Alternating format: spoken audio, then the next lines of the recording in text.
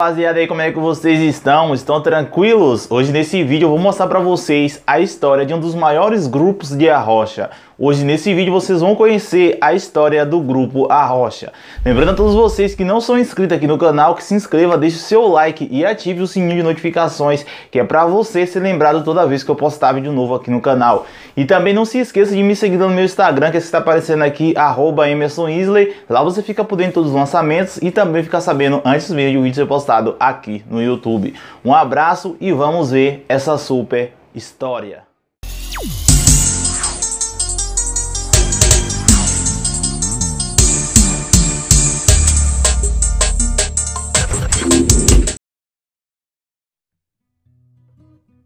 Opa, opa, opa, rapaziada. Hoje nós vamos conhecer um pouco da história da banda Grupo Arrocha. Lembrando a todos vocês que essa história foi feita todas com as minhas pesquisas.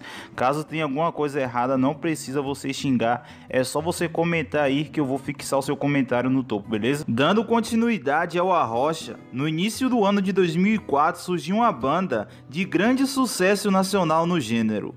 O Grupo Arrocha onde, segundo algumas informações que até hoje não foram concretizadas, os empresários da banda Grupo Arrocha eram os mesmos da banda Asas Livres. Onde algumas pessoas falam que com o grande sucesso da banda Asas Livres na época e com o crescimento dos gêneros, os empresários viram uma grande oportunidade de criar uma banda para dar seguimento ao gênero, cujo nome Grupo Arrocha. O nome da banda seria uma grande homenagem aos gêneros que os empresários da banda Asas Livres tinham criado. E por coincidência ou não, os primeiros vocalistas do grupo Arrocha vieram da banda Asas Livres. Pablo e Nelsinho, onde até hoje os sonhos não entenderam o porquê da saída dos dois da banda Asas Livres, já que eles saíram da banda no melhor momento, a banda estava no auge dos auges. Talvez essa seja a verdadeira hipótese dos fãs que acompanhavam a banda na época. Mas e você? O que você acha? Os mesmos empresários da banda Asas Livres eram o mesmo empresário do grupo Arrocha? Comente aqui embaixo que eu vou estar analisando o seu comentário. E como eu estava falando anteriormente, em janeiro de 2004, Pablo e Nelsinho saíram da banda Asas Livres e foram para o grupo A Rocha, e em menos de um mês eles lançaram um CD. E como eles vieram da banda Asas Livres, o primeiro disco da banda foi intitulado como Grupo A Rocha de Asas Novas. Esperar pelo momento que os dois vinham vivendo na banda Asas Livres, o primeiro CD do grupo A Rocha foi um verdadeiro sucesso. Você duvida do meu sentimento. Diz que sou insensível de pedra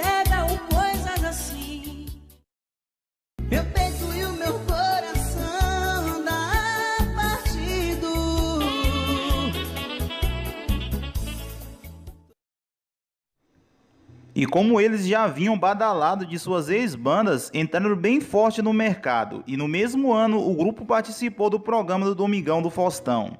E no mesmo ano também, a banda participou do evento chamado Reino do Arrocha no Parque de Exposição de Salvador. O evento que reunia os melhores artistas do Arrocha na época. No fim de 2004, a banda lança mais um disco, dessa vez intitulado como Grupo Arrocha, Boleros e Dendê.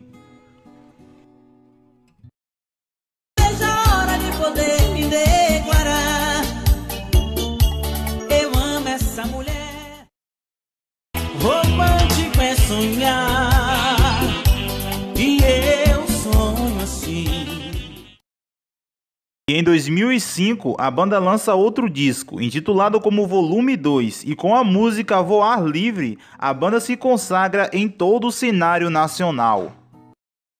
Voando pro infinito,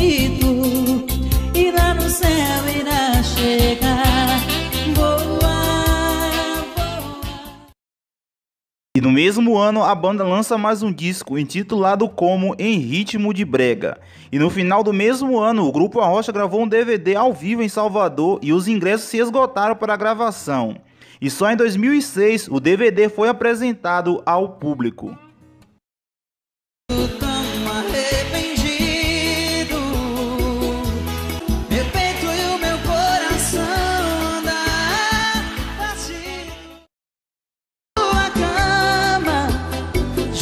longe diz que ama.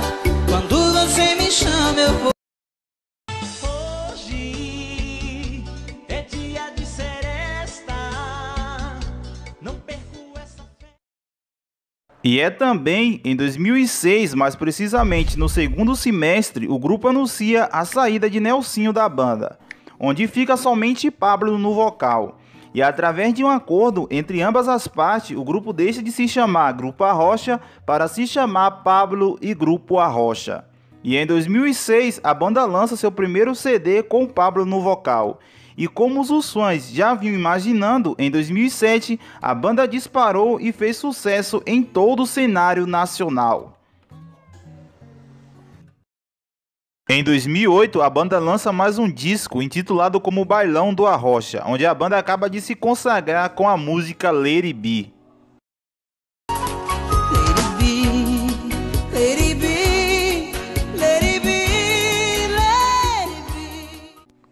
E já no ano de 2009, a banda lança mais um disco intitulado como Bailão do Arrocha 2.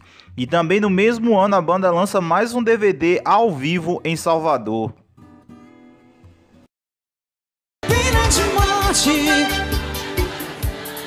Fui condenado a pagar o preço. Por tantas vezes eu menti, até que ela se cansou.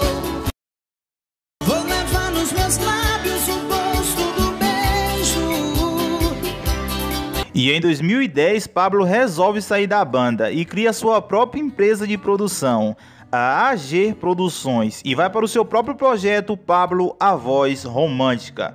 E em 2011, os empresários do Grupo Arrocha contratam uma nova formação, e quem entra na banda é Johnny Paixão e Gilmar Monteiro. E com as músicas nacional e internacional, a banda continua mantendo o sucesso. O que eu sinto por você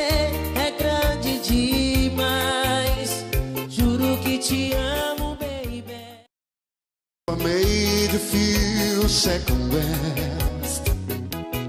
Dear, I'm sorry. Com os CDs gravados, a banda com o tempo foi caindo o sucesso. E em 2013 o grupo para. E em 2017 o grupo Arrocha aparece no mercado e no vocal tinha William Caster e Deja Ribeiro, onde a banda lança um disco intitulado como O Retorno.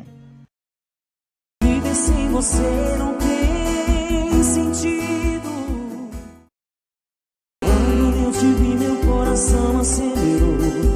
A sua beleza de uma forma. Essa formação fica até o ano de 2018. E em 2019, o ex-cantor da banda Asas Livres, Alain Delon, aparece usando a logomarca da banda, Alain Delon e Grupo Arrocha, onde ele está até o momento.